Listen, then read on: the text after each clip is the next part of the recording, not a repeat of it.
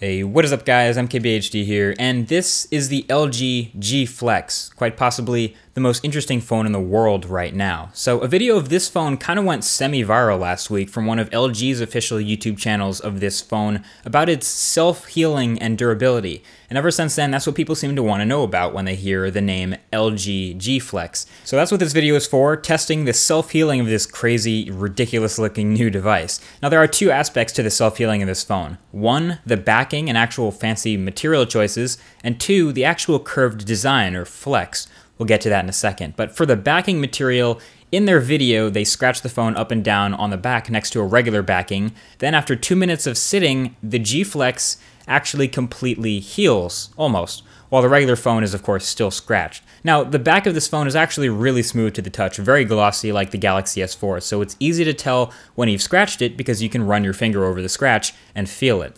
They have a bronze brush rubbing up and down the back of the phone with super even strokes.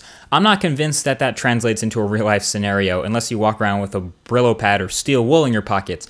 So I decided to do a full test of my own, the way I see a self-healing phone to be applicable, against your keys, because that's all I can think of that you'd put in the same pocket or bag as your phone. So it started off pretty smooth. I gave it a few clanks and scratches with the key to get it legitimately scuffed up and simulate being in the same pocket, but the way I, I see it, I really don't like intentionally scratching new devices. So I did this for you guys, uh, so thumbs up for that down below. But sure enough, after a few minutes, the scratches were mostly minimized. I say minimized, not completely gone, but definitely way less noticeable than when they were fresh. This would be awesome if you like dropped your phone on the concrete and picked it back up, put it in your pocket, walked home, and then took it out your pocket a few minutes later and you'd barely even be able to tell you dropped your phone. Sounds great. But take a look back at that official video from LG, and you don't exactly have to have eagle eyes to see that that is an ad and that they're using optimal controlled conditions for that experiment. And part of those optimal controlled conditions that they chose was an air temperature of 27.4 degrees Celsius, which is 81 degrees Fahrenheit, the equivalent of a very warm summer day.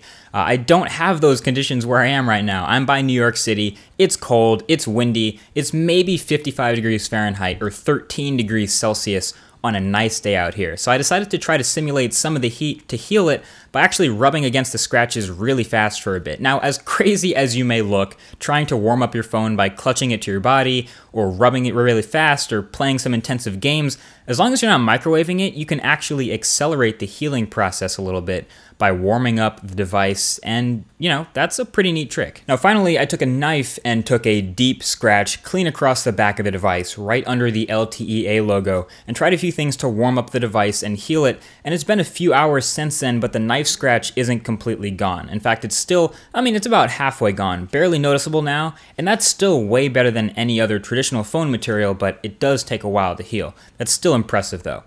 Now, the last part of this phone's self-healing has to do with the name. G-Flex. Ladies and gentlemen, do not try this at home with your smartphone unless somehow you also have an LG G-Flex.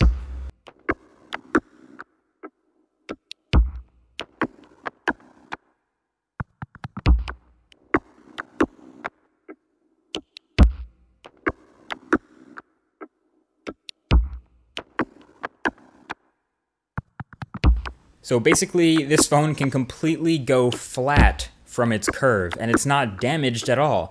Internally, I have no idea what's going on here. I mean, it has a 3500 milliamp hour battery, that's huge. It has a 6 inch display, that's also huge.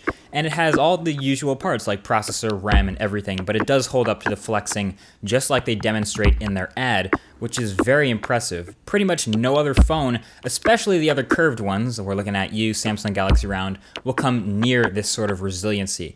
So in the end, these two curved devices out right now that are the most popular are named quite perfectly. The Samsung Galaxy Round is just that. It's rounded. And the LG G Flex, well, it actually flexes and that's pretty impressive. Anyway, be sure to subscribe to first to catch the full review of the G Flex, plus much more tech on the way. You probably saw the PS4 stuff that I'm going through right now. Thank you for watching, and I'll talk to you guys in the next video. Peace.